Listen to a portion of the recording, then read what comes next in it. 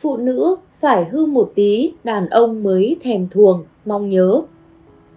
Quý vị thân mến, đàn bà hư là cả một kho bí mật. Đàn bà hư giống như một ly nước nhiều màu sắc. Chính vì thế, đàn ông không bao giờ có thể hiểu họ thuộc loại nước nào. Không giống đàn bà ngoan, đơn giản là một ly nước lọc. Đàn bà hư có cách nói chuyện khiến đàn ông mê mệt, đoán giả đoán non bởi chẳng rõ ý tứ của nàng như thế nào. Không như đàn bà ngoan, thích là bảo thích, yêu là bảo yêu. Cái gì dở dang lấp lửng chẳng hấp dẫn hơn những cái thẳng thừng, bộc tuệt. Tại sao đàn ông trên đời luôn thích lấy đàn bà ngoan làm vợ, nhưng lại rất bị cuốn hút bởi những người đàn bà hư và liệu có phải là vì đàn bà hư luôn là đàn bà cuốn hút nhất bởi cái chất đàn bà riêng biệt của họ hay không? Họ dám khoe những cái điều mà đàn bà ngoan không dám làm. Họ dám sống theo cái cách đàn bà ngoan chưa bao giờ từng nghĩ tới. Đàn bà hư thường toát ra sức ma mị khó cưỡng, bởi theo đàn ông không thể nắm bắt được. Càng không có, họ càng mê muội đuổi theo. Đàn bà ngoan yên phận làm vợ, làm nội trợ trong nhà, cả ngày quanh quẩn ra vào thật là nhàm chán và tẻ nhạt.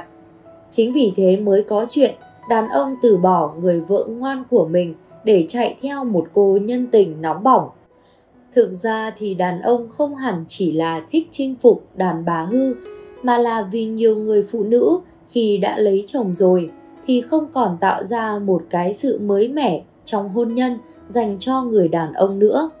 Và một trong những bí quyết giữ chồng của nhiều chị em phụ nữ chính là học hỏi những cách hư bởi đàn bà biết hư thế nào cho phải, thì chắc mới có được hạnh phúc ngay sau đây, kính mời quý vị cùng điểm qua năm cái hư của người phụ nữ, khiến cho người đàn ông mê mẩn mà sẽ gắn bó cả đời mãi không chán. một, Phụ nữ cần nhớ hãy yêu thương và chiều chuộng bản thân. Phụ nữ nếu không biết tự yêu thương bản thân mình thì sẽ chẳng có ai có thể yêu thương bạn cả. Bạn thử hỏi đàn ông trên khắp thế giới này xem, có anh nào yêu thích một cô gái xuề xòa, chẳng mảy may quan tâm đến vẻ ngoài, không quan tâm đến sức khỏe bản thân, cũng chẳng muốn trau chuốt cho tri thức tâm hồn. Câu trả lời chắc chắn sẽ là chẳng có một ai cả. Phụ nữ khôn ngoan chính là nhận ra giá trị bản thân, là không được ngừng yêu bản thân, không được ngừng làm đẹp cho bản thân từ tâm hồn đến vẻ ngoài. Đây là cái hư bắt buộc phải có, phụ nữ hiện đại tự tin, mạnh mẽ, thông minh và độc lập. Vì vậy, họ biết cách yêu thương bản thân trước khi chờ đợi người khác phải yêu thương mình. Không cần phải đợi những dịp quan trọng hay khi sức khỏe lên tiếng. Phụ nữ thông minh biết cách thay đổi và lo cho chính mình. Đầu tư cho sức khỏe chưa bao giờ là việc uổng phí. Cứ mạnh dạn mua sắm những cái đồ gì đó mà mình thực sự yêu, phải nói là thực sự yêu. Chỉ khi phụ nữ yêu bản thân thì đàn ông mới trân trọng. Người đàn bà tuềnh toàng, ăn mặc hơi luộm thuộm một chút khi đi ra đường. Mặt mình cũng bỏ đi, chứ nói gì là tự trọng của chồng con. Thế này nhé, tự mua cho mình một đóa hoa hồng vào ngày sinh nhật, tự thưởng cho mình một bộ mỹ phẩm cao cấp, tự chuẩn bị nội thất trong ngôi nhà. Phụ nữ hoàn toàn có thể làm được những điều ấy mà chẳng cần đến một đấng nam nhi. Mà khi phụ nữ đã mà không cần người ta nói là bất cần thì đàn ông có khi lại càng thích thú. Như vậy, dù có cả đời theo đuổi, người đàn ông vẫn vấn vương ban đầu. 2. Biết đòi hỏi và dám đòi hỏi. Nhiều người phụ nữ khi đã lấy chồng thì sống rất là an phận, không dám mua sắm, không dám chăm chút cho mình. Chồng bà một thì nghe một mà không dám làm trái, không biết đòi hỏi. Vậy nên thì người chồng sinh ra cái tâm lý chán trường mới đi ăn nem ở bên ngoài đấy. Người ta nói rằng người phụ nữ ngốc chính là khi còn yêu thì không dám nói với anh ấy cho mình đi ăn ở những nhà hàng sang trọng còn khi kết hôn lại không dám tiêu tiền của chồng để mua sắm cho bản thân Đây chính là biểu hiện của một người phụ nữ quá biết điều mà quên mất rằng bản thân mình xứng đáng nhận được những điều tốt đẹp nhất. Và nếu điều này xảy ra thường xuyên thì bạn sẽ tự biến bản thân thành nơi an toàn cho đàn ông. Bạn vô tình đã khiến đàn ông cảm thấy bạn dễ chiều, sao cũng được. Bạn sẽ luôn nghĩ cho anh ấy, sẽ luôn tha thứ cho anh ấy, sẽ không bao giờ gây khó dễ cho anh ấy và bạn sẽ rất dễ nhận lấy những thương tổn không đáng có. Đàn ông luôn muốn mình là chỗ dựa vững chắc, là tấm khiên bảo vệ an toàn nhất cho người phụ nữ của mình. Nếu anh ấy yêu bạn thật lòng, anh ấy sẽ không bao giờ tiếc rẻ điều gì hay tính toán điều gì với bạn. Hãy khéo léo và tinh tế khi đòi hỏi anh ấy một điều gì đó, để anh ấy không cảm thấy rằng bạn đang áp đặt và làm khó anh ấy. Điều này không hề khó nếu bạn hiểu người đàn ông mà mình yêu. Thứ ba, biết quyến rũ chồng. Quyến rũ chồng là cả một nghệ thuật mà không phải người phụ nữ nào cũng có thể làm tốt. Thỉnh thoảng hãy thủ thỉ vào tay chồng một vài lời ngọt ngào, một nụ hôn bất ngờ, siết chặt hay một cái ôm ấm áp từ đằng sau. Những hành động bất thình lình này đủ để các ông chồng dạo dực như thời yêu đương cuồng nhiệt của tuổi trẻ.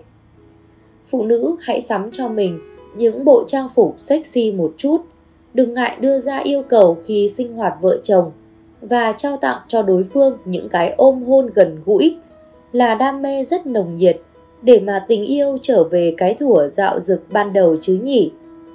Cái hư này rất là quan trọng bởi cái chuyện hòa hợp trong chuyện chăn gối đóng một vai trò rất lớn trong việc giữ gìn lửa hôn nhân và hạnh phúc sau này.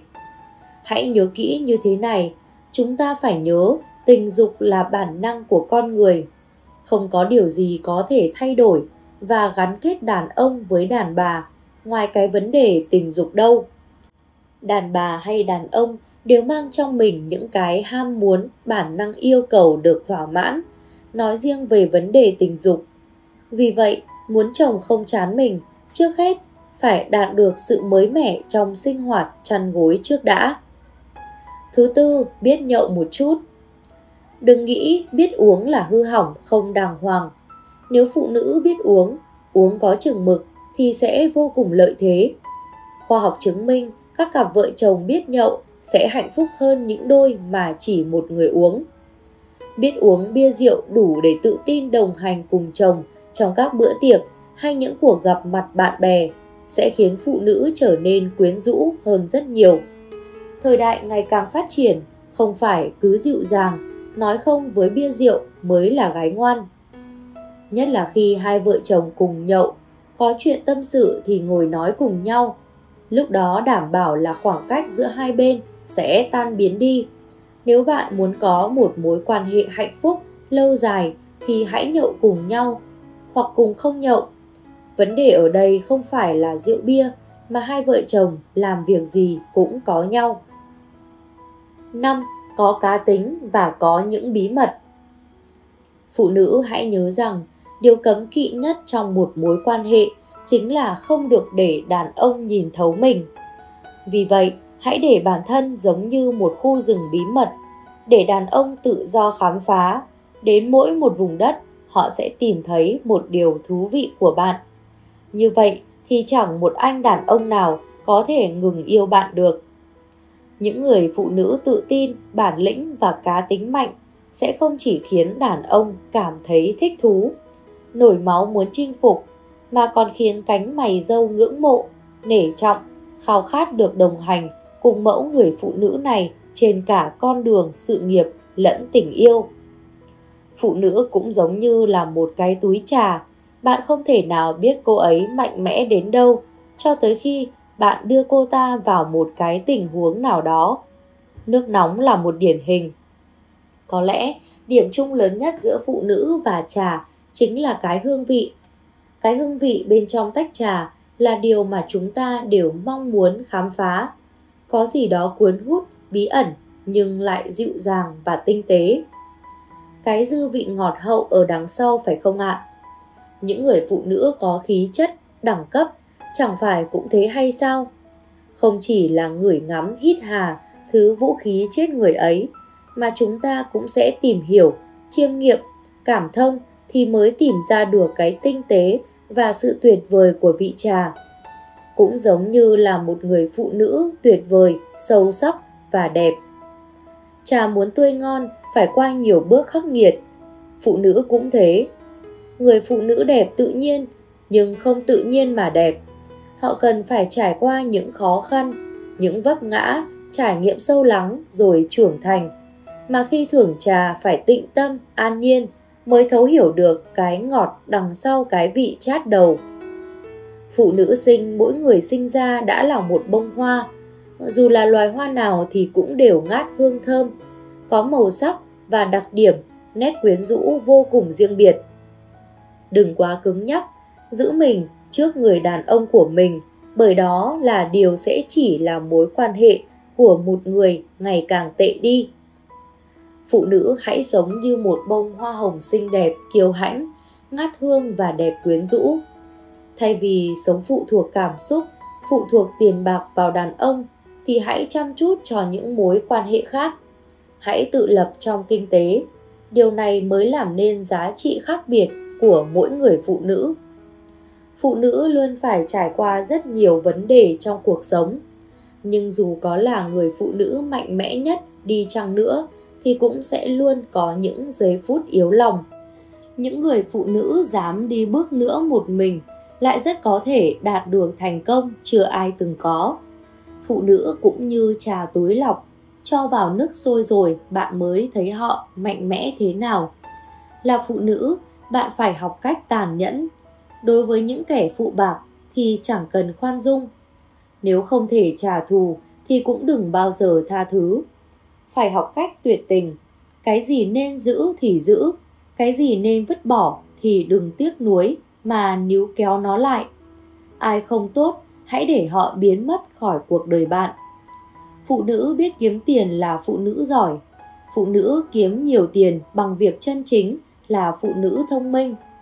Nhưng phụ nữ vừa biết kiếm tiền nhiều, vừa biết làm bản thân trở nên xinh đẹp mới là người phụ nữ đáng ngưỡng mộ có tiền mới độc lập tự lo cho chính mình và cũng mới chăm lo được cho những người thân yêu của mình mỗi người phụ nữ đều ẩn chứa bên trong mình sự mạnh mẽ khác với vẻ ngoài yếu đuối. Chẳng qua là cuộc đời chưa khiến họ phải đến mức bộc lộ sự mạnh mẽ của mình. Cánh hoa đẹp nhất cũng không địch nổi với dòng chảy của thời gian. Nhưng nếu được một người đàn ông yêu thương trân trọng thì dù có như đóa hoa tàn úa hay ngọn nến trước gió, thì trong mắt người ấy, bạn vẫn là người phụ nữ khiến anh ta rung động nhất. Thất bại lớn nhất của người phụ nữ không phải là yêu và lấy chồng nghèo, mà chính là yêu và lấy người không yêu mình. Dưới đây là 5 câu nói nâng tầm người phụ nữ khôn khéo. 1. Phụ nữ giàu có xinh đẹp chưa chắc đã hạnh phúc luôn lạc quan tự chủ trong mọi việc mới là hạnh phúc có câu nói thế này làm đàn bà là một đặc ân của tạo hóa bạn có thể diện những chiếc váy đẹp có thể tô son điểm phấn có thể làm điệu theo sở thích có thể dựa dẫm và được bảo vệ được tặng quà được mặc chiếc áo cưới khi kết hôn được làm mẹ làm gì có chuyện làm đàn bà là thiệt thòi bạn đã làm đàn bà sai cách đã không đủ yêu thương chính bản thân mình. Phụ nữ thường đong đếm niềm vui, nỗi buồn của mình trong quanh quẩn người đàn ông. Đó là một sai lầm lớn. Làm vậy, bạn vô tình đã làm mất đi giá trị của mình. Hãy làm chủ chính cuộc sống của mình. Đi đến những nơi bạn muốn đi, ăn những gì bạn thích, yêu đời hơn và luôn yêu mình hơn trước khi yêu người khác. Có như vậy phụ nữ mới có thể hạnh phúc toàn tâm toàn ý. hai Phụ nữ cũng giống như những đóa hoa, nếu không thuộc kiểu xinh đẹp thuần khiết thì cũng nên rực rỡ đến sao lòng. Phụ nữ hãy cứ giống như một đóa hoa, dù cho là sẽ phai tàn nhưng cũng đã tỏa sáng. Tuổi nào cũng vậy, phụ nữ chỉ xinh đẹp nhất khi được sống với chính mình, không theo khuôn mẫu của người khác. Cho dù duyên có đến chậm thì cũng an yên mà chờ đợi. Bởi trong tình yêu, người tốt thì thường hay đến muộn. Việc của bạn là cứ xinh đẹp và chờ đợi tình yêu đích thực đến với mình mà thôi. Điều tuyệt vời nhất trong cuộc sống này chính là phụ nữ hãy giống như một đóa hoa mềm mại, uyển chuyển như dòng nước. Còn người đàn ông hãy vững chãi và bao dung, là bờ vai chở che cho những đóa hoa xinh đẹp này. 3. Phụ nữ không quan trọng mình bao nhiêu tuổi, có trái tim bao nhiêu tuổi mới là quan trọng. Nhân sinh tại thế, điều quan trọng chính là tâm thái, sống đừng để tuổi tác chế ngự.